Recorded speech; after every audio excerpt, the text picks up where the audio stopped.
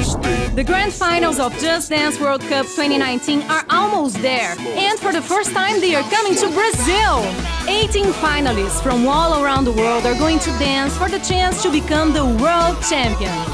They came from qualifiers all over the world, each one representing their region and will compete to be the best. Join us on Twitch on March 30th to vote for the best player. See you in Brazil!